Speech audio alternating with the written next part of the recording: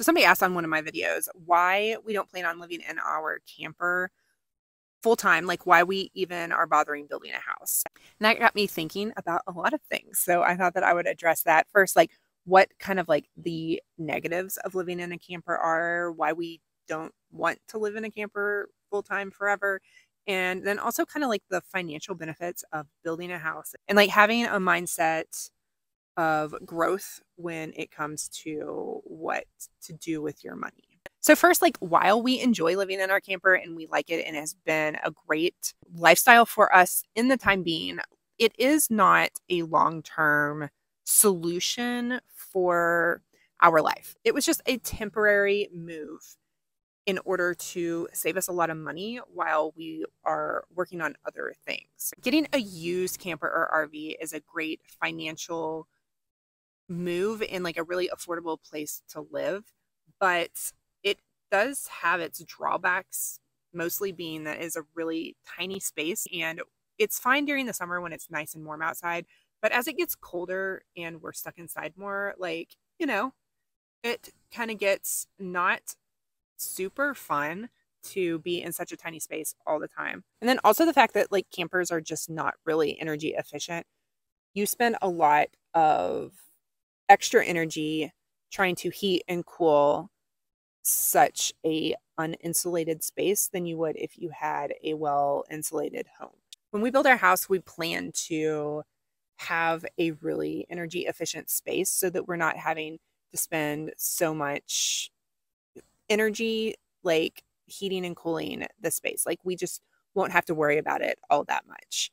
Uh, they're also like we cannot heat our camper with a with wood, which I mean we we could, but I don't feel safe doing that because campers are very flammable and I prefer not to burn it down. Campers also are built really low quality and they don't last forever.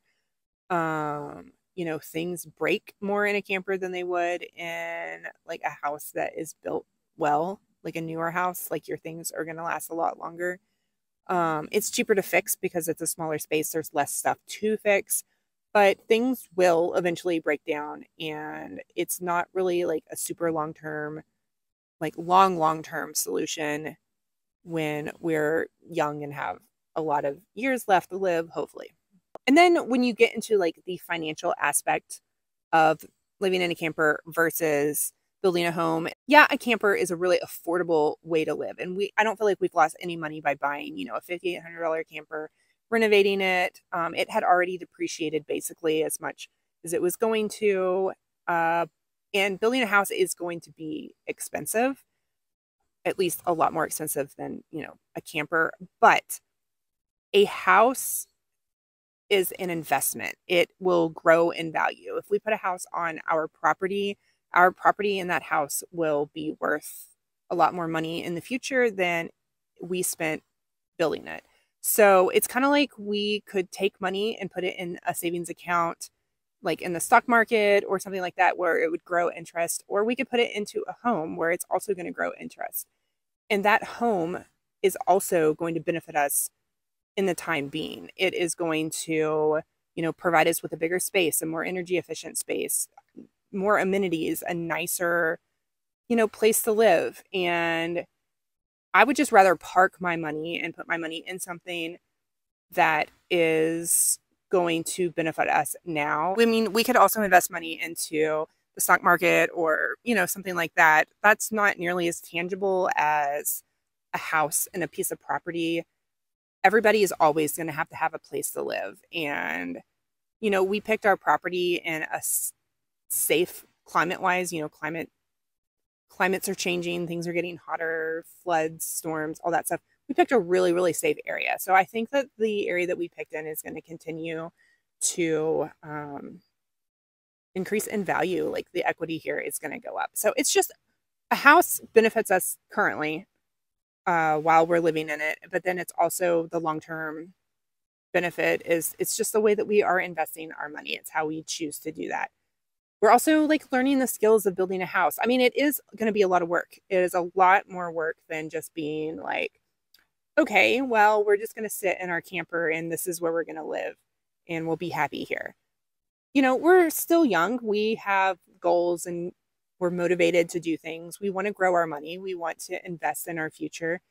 So, building a house and putting in the time and effort and work and money that it's going to take to build that house is one of the ways that we are investing in our future that is going to benefit us today and later. I'm not saying that living in a camper is a bad thing. Like, I definitely promote living in a camper. I do think it's a great way to save money. And if you're struggling to like pay for housing right now, housing is so expensive.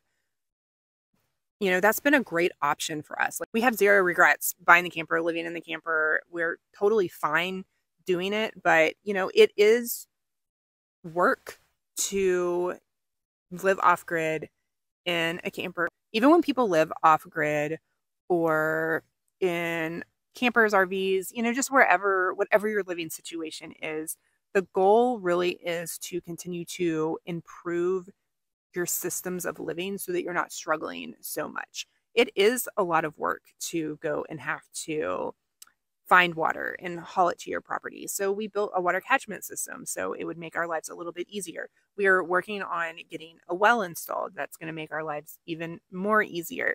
We, you know, want to set up a solar system on our property so we do have access to more energy. The goal for us is always to continue to improve our lives, make things more streamlined, make things more easier, um, constantly improving our setup. In doing those things, it's setting us up to live a more free life because we're giving ourselves time back. You know, it's all about like working really hard and figuring things out. We want to improve ourselves both personally and like our physical environment and um, I mean, that's just what we're always doing. We're constantly trying to get better and have experiences that are really valuable to us, be self sufficient, uh, just, you know, like live with intentionality, live the life that we want to. And that is constantly improving, constantly learning, growing. Uh, we want to build our wealth and do it in a way that works for us and is tangible. Real estate, housing has been the way that we've been able to do that in the past. And so it just makes sense that that is what we want for our future.